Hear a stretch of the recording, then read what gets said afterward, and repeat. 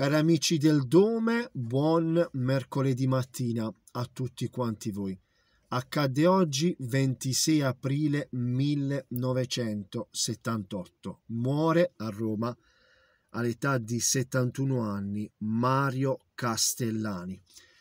Dal 1940 lui è ufficialmente la spalla del principe della risata, ovvero Totò.